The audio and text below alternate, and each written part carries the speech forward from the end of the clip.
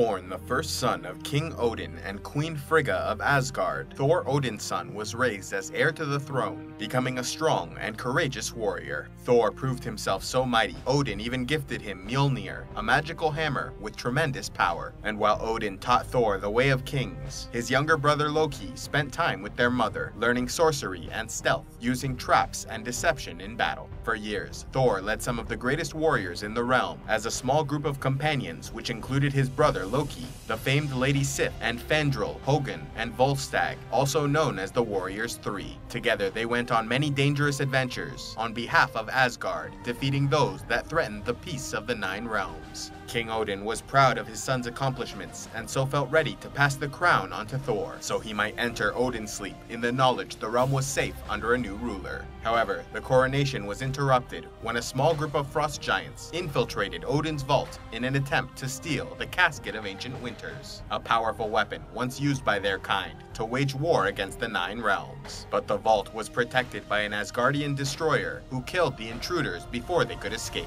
With the culprits dead, King Odin was prepared prepared to let the matter rest in order to preserve the peace of the Nine Realms. But Thor was convinced they must show strength by sending an army to Jotunheim to ensure they would never threaten Asgard again. And so Thor disobeyed his father's instructions, leading his companions through the Bifrost to Jotunheim, even gaining the cooperation of Heimdall, the all-seeing guardian of the Bifrost Bridge, who wanted to learn how the Frost Giants had entered Asgard undetected. Thor confronted King Laufey, who told the Asgardians to leave his realm while they still could. And while Loki attempted to accept his proposal to ensure their safe departure, Thor was provoked into anger and engaged the Frost Giant forces. Although they killed many, Thor and his companions were eventually surrounded and may have been captured or killed if not for Odin, who had learned of their journey and followed them in an attempt to preserve peace with Jotunheim. However, King Laufey informed Odin that the war had already begun, and so the Asgardians returned to their homeland to prepare for the conflict. The king was furious with his son and heir who had acted so foolishly and brought war to the realm. And to make matters worse, Thor proved unrepentant and even insulted Odin in his anger. Realizing that Thor was not ready to be king, the Allfather stripped him of his powers and banished him to Earth, also sending the hammer Mjolnir, but enchanting it so that only one who was worthy could wield the weapon. On Earth, Thor struggled with the loss of his powers, but even so proved a formidable warrior, able to defeat a number of trained S.H.I.E.L.D. agents at a compound where they were studying the hammer that fell from the sky. Yet when Thor realized he could no longer lift Mjolnir, he lost hope of the restoration of his powers and allowed himself to be arrested. Loki then visited Thor and explained that Odin had died, making Loki king of Asgard, and that peace with the Frost Giants was now dependent on Thor's exile to Earth and that even their mother Frigga had forbidden his return.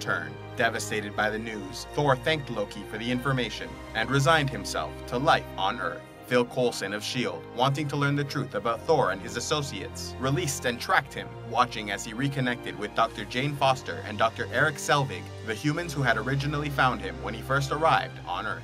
Thor proved to have a connection with Dr. Foster, becoming closer to the woman, and even explaining Yggdrasil and Earth's place in the Nine Realms. But soon, Lady Sif and the Warriors Three arrived, seeking their old leader to inform him that Loki had been behind the entire ordeal with the Frost Giants, having shown them how to enter Asgard undetected to orchestrate the attack during Thor's coronation. Further, Loki had lied about Odin's death instead having taken the throne of Asgard while their father was in Odin's sleep and their mother distracted by Odin's side. Loki, meanwhile, sent the destroyer to Earth to track down Thor and his companions. But rather than fight, Thor chose to give himself up in the hopes of stopping the destruction of the town, and so his companions might be spared. But it was not enough to sway Loki, who controlled the monster, and so he knocked Thor back, breaking his bones and leaving him to die. But his sacrifice and humility were sensed by Mjolnir, which flew back to Thor's side and restored his powers, allowing him to defeat the destroyer and return to Asgard to depose his usurper brother. Loki had been working with King Laufey to help the Frost Giants kill Odin and recover the Casket of Ancient Winters. But it was yet another deception, instead killing Laufey and using the Bifrost and Casket to destroy Jotunheim once and for all. Thor then broke apart the Bifrost Bridge with his hammer to stop the attack and defeat Loki, who fell into the abyss as the bridge collapsed. Thor would have fallen as well if not for Odin, who had awakened from his slumber and arrived just in time to rescue his firstborn son. Asgard then began to recover from the damage done when they discovered Loki had not been killed in the destruction of the Bifrost, instead landing on Earth and using his powers to attempt conquest of the planet so he might rule as king. Odin then sent Thor to Earth through the use of dark energy, where he met with S.H.I.E.L.D. and the Avengers, uniting forces to stop Loki, who had recovered the Tesseract, also known as the Space Stone, and had allied himself with Thanos, an intergalactic warlord who sent his Chitauri army through a wormhole to invade Earth at the Battle of New York. Thanos also gifted Loki the Mind Stone inside his scepter, giving him unique and devastating powers. Thor and the Avengers, however, stopped the advance of these cybernetically enhanced creatures and closed the wormhole defeating Loki and recovering the Tesseract. Thor then used the ancient stone to transport himself and his brother back to Asgard, where Loki was incarcerated and the Tesseract used to rebuild the Bifrost Bridge. Sometime later, marauders began an invasion of the Nine Realms, leading Thor and his companions to fight in the Battle of Vanaheim where Thor defeated the enemy champion, Korg, in single combat, ending the two-year conflict. With peace restored, Thor traveled to Earth to visit Jane Foster, the woman he had become romantically involved with during his exile from Asgard. Thor then discovered Jane had become host to the Aether, also known as the Reality Stone, when she accidentally walked through a portal to another world, where she encountered a shrine and touched it, releasing the Aether into her body. This portal had appeared on Earth as part of the Convergence, an event that occurred once every 5,000 years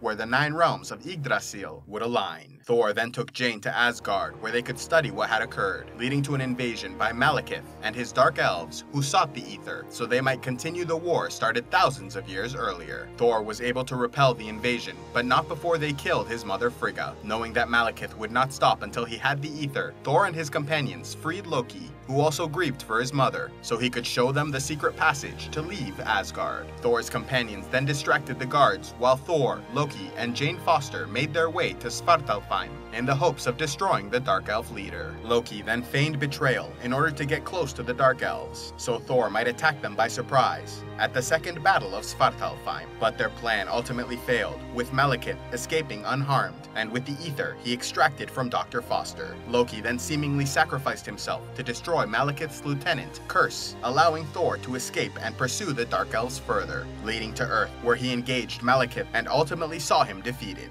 The Aether was then returned to the Asgardians, who did not feel comfortable having another Infinity Stone in their possession, with the Tesseract already in Odin's vault, and so they took the Reality Stone to Taneleer Tivan, a famed collector of rare artifacts and species, and the leader of the Tivan group. Thor, meanwhile, had chosen to reject the throne of Asgard, instead returning to Earth to be with Jane Foster, the woman he loved. Odin allowed him to keep Mjolnir and accepted Thor's decision, but in truth, it was not Odin who sat on the throne at all, but Loki, who had somehow survived the fight on Svartalfheim and had taken control of Asgard by using his illusions to pose as King Odin. On Earth, Thor spent time with Dr. Foster before reuniting with the Avengers to eliminate the last of Hydra's major operations, after which they were forced to battle Ultron, an artificial intelligence created by Tony Stark when he attempted to duplicate a code found within Loki's scepter to create a being capable of defending Earth from alien invasion. During the Battle of the Salvage Yard, Thor's mind was taken over by Scarlet Witch, resulting in a vision where he saw Asgard destroyed and his friends dead. He then found Dr. Selvig, who helped him find the waters of sight. He then saw a glimpse of the Infinity Stones and a creature who would be born to help the Avengers defeat Ultron. The final vision was realized when Thor returned to his friends and used the hammer on Tony Stark's Jarvis AI program, which combined with the Mind Stone to create the being Vision, who joined Thor and the Avengers in stopping Ultron and his army of machines, bent on the extermination of humanity. This culminated in the Battle of Sokovia, which destroyed the city but saw Ultron defeated, though at a cost of thousands of innocent lives. Thor, still concerned by the visions he saw, realized that the Infinity Stones, which had been reappearing over recent years, must be related to a larger event being played out, and so returned to Asgard, searching for answers.